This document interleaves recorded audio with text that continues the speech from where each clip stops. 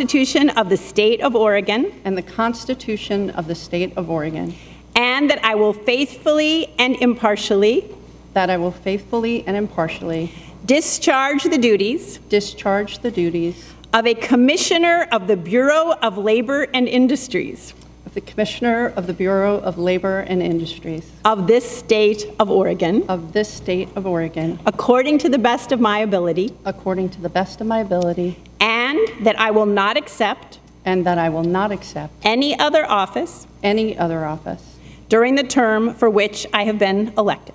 during the term for which I've been elected. Congratulations. Thank you.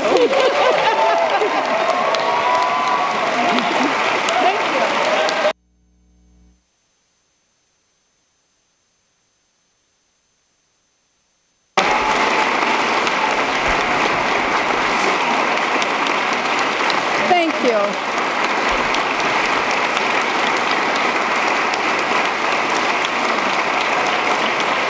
So, so um,